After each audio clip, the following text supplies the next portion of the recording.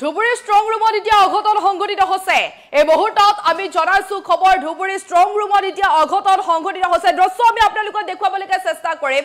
যিহেতুকে এতিয়া দেখিবলৈ পোৱা গৈছে যিহেতু এতিয়া দেখিবলৈ পোৱা গৈছে ধুবুৰীৰ ভোলানাথ মহাবিদ্যালয়ৰ ভোট গণনা কেন্দ্ৰত জোঁটৰ ভিতৰত মোবাইল লৈ কোবোৱাৰ সময়তে আটক কৰা হৈছে অগপৰ কাউণ্টিং এজেণ্টক। এই মুহূৰ্তত আমি আপোনালোকক জনাইছো যিহেতু এতিয়া দেখিবলৈ পোৱা গৈছে আজি যিহেতু আৰম্ভ হ'ব লোকসভা নিৰ্বাচনৰ ভোট গণনা প্ৰক্ৰিয়া মাজত মাত্ৰ পাঁচটা পাঁচ মিনিট বাকী আছে। অৰ্থাৎ আঠ বজাৰ লগে লগে আৰম্ভ হ'ব লোকসভা নিৰ্বাচনৰ ভোট গণনা আৰু তেনেতেই কিন্তু ক'ব লাগিব তেনেতেই এতিয়া দেখিবলৈ পোৱা গৈছে ধুবুৰীৰ দৃশ্য আমি আপোনালোকক দেখু- দেখুৱাইছো। ধুবুৰী ষ্ট্ৰং ৰুমত এতিয়া অঘটন সংঘটিত হৈছে। আমি আপোনালোকক জনাইছো খবৰ ধুবুৰী ষ্ট্ৰং ৰুমত এতিয়া অঘটন সংঘটিত হৈছে। আৰু এয়া আমি দৃশ্য দেখুৱাইছো ধুবুৰীৰ ভোলানাথ মহাবিদ্যালয়ৰ ভোট গণনাৰ যি কেন্দ্ৰ এই কেন্দ্ৰৰ দৃশ্য আমি ইতিমধ্যে আপোনালোকক দেখুৱাইছো আৰু জোতাৰ ভিতৰত মোবাইল লৈ সোমোৱাৰ সময়তে অগপৰ অগপৰ কাউণ্টিং এজেণ্টক ইতিমধ্যে আটক কৰিছে আৰক্ষীয়ে আটক কৰিছে যিহেতু জোতাৰ ভিতৰত লৈ গৈছিল মোবাইল ফোন লৈ গৈছিলে আৰু সেই মোবাইল ফোন লৈ যোৱাৰ সময়তে আটক কৰিছে অগপৰ কাউণ্টিং? এজেণ্টক আৰু এজেণ্টজনৰ নাম যিহেতু আমাৰ হাতত আহি পৰিছে তেওঁ। হৈছে আৰিফুল ইছলাম আৰিফুল ইছলামক এতিয়া দেখিবলৈ পোৱা গৈছে যিহেতুকে কটকটীয়া নিৰাপত্তা বেষ্টনী গঢ়ি তোলা হৈছে আৰু আৰক্ষীয়ে যেতিয়া আৰক্ষীয়ে যেতিয়া চেকিং কৰিছিল তেতিয়াই আচলতে ক'ব লাগিব ভোট গণনা কেন্দ্ৰত জোতাৰ ভিতৰত মোবাইল লৈ যেতিয়া সোমাইছিল অগপৰ কাউণ্টিং এজেণ্ট আহ, তেতিয়াই কিন্তু তেখেতক ইতিমধ্যে আটক কৰিবলৈ সক্ষম হৈছে আৰক্ষীয়ে। আৰু এজেণ্টজনৰ নাম হৈছে দৃশ্য আমি দেখুৱাইছো এজেণ্টজনৰ নাম হৈছে আৰিফুল ইছলাম। আমি আপোনালোকক জনাইছো ঘৰ আৰু এই যিজন এজেণ্ট আছিলে অৰ্থাৎ যুৱকজনৰ ঘৰ ধুবুৰীৰ আমেৰ ভিতাত বুলি জানিব পৰা গৈছে।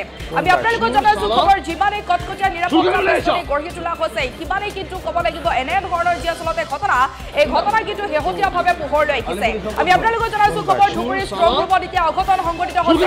আপোনালোকক দেখুৱাইছো এইজনে হৈছে এইজনে হৈছে সেইজন অগপৰ কাউণ্টিং এজেণ্ট যি কাউণ্টিং এজেণ্টে এইবাৰ দেখিবলৈ পোৱা গৈছে ভোট গণনা কেন্দ্ৰত জোতাৰ ভিতৰত মোবাইল লৈ সোমাইছিল। আৰু তাৰ পিছতে যিহেতু আৰক্ষীয়ে দেখিবলৈ পোৱা চুৰ গৈছে কৰি আছে, আৰক্ষীয়ে চালা। যিহেতুকে কটকটীয়া নিৰাপত্তা বেষ্টনী গঢ়ি তুলিছে আৰক্ষীয়ে। যেতিয়া চেক কৰিছিল তেতিয়াই কিন্তু ক'ব লাগিব এনে ধৰণৰ যি ঘটনা এই ঘটনা কিন্তু এতিয়া শেহতীয়াভাৱে পোহৰলৈ আহিছে। আমি আপোনালোকক সেই এজেণ্টজনৰ দৃশ্য দেখুৱাইছো যিহেতু তেখেতক আটক কৰিবলৈ হৈছে আৰক্ষীয়ে আৰু এই এজেণ্টজনৰ নাম হৈছে আৰিফুল ইছলাম যিহেতু এয়া অবৈধ। গতিকে এতিয়া ক'ব লাগিব এই যিজন।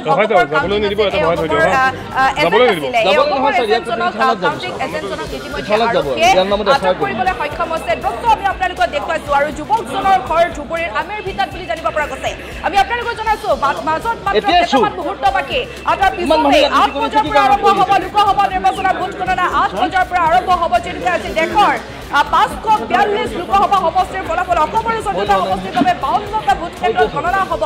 আৰু আজি যিহেতুকে বহু প্ৰত্যাশিত মংগলবাৰ? নিবদ্ধ হৈ আছে আৰু আজিৰ এই দিনটোৰ। বাবে ক'ব লাগিব যিসকল আৰক্ষী বিষয়া আছে তেওঁলোকেও কিন্তু কটকটীয়া নিৰাপত্তা বেষ্টনী গঢ়ি তুলিছে যাতে কোনো ধৰণৰ কোনো ধৰণৰ যাতে দুৰ্নীতিমূলক কাম হ'ব নোৱাৰে। আৰু তাৰ পিছত আমি আপোনালোকক জনাইছো এই ঘটনা সংঘটিত হৈছে ধুবুৰী দৃশ্য আমি আপোনালোকক দেখুৱাইছো ধুবুৰী ষ্ট্ৰং ৰুমত এতিয়া অঘটন সংঘটিত হৈছে।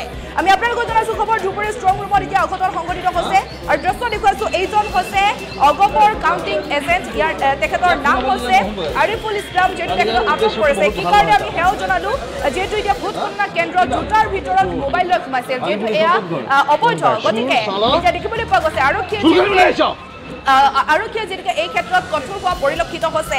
তেনেতেই অগপৰ আটক কৰিবলৈ। সক্ষম হৈছে। আৰু এই এজেণ্টজনৰ নাম হৈছে খবৰ। আৰু এই যুৱকজনৰ ঘৰ অৰ্থাৎ।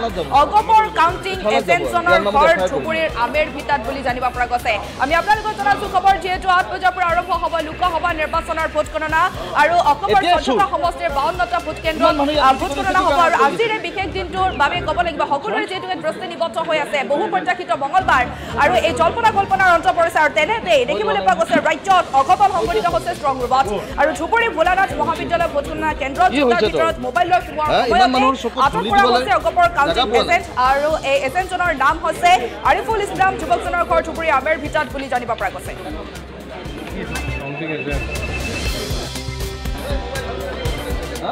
কি নাম?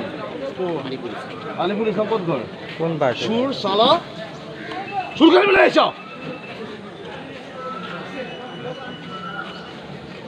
ইমান পুলিচ ইয়াত ডিউটি কৰি আছে চুৰ কৰি পেলাইছ ষ্টুপিড চালা হয় যাওক যাবলৈ নিদিব এটা ভৰাই থৈ দিয়ক হা? যাবলৈ নিদিব। যাবলৈ নহয় ছাৰ ইয়াক ই থানাত যাব ছাৰ। থানাতে যাব ছাৰ। এই থানাত যাব আৰু ইয়াৰ নামত এফ আই আৰ কৰিম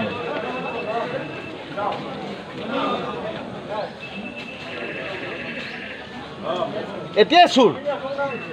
ইমান মানুহ ইয়াত ডিউটি কৰি আছে কি কাৰণত কৰি আছে?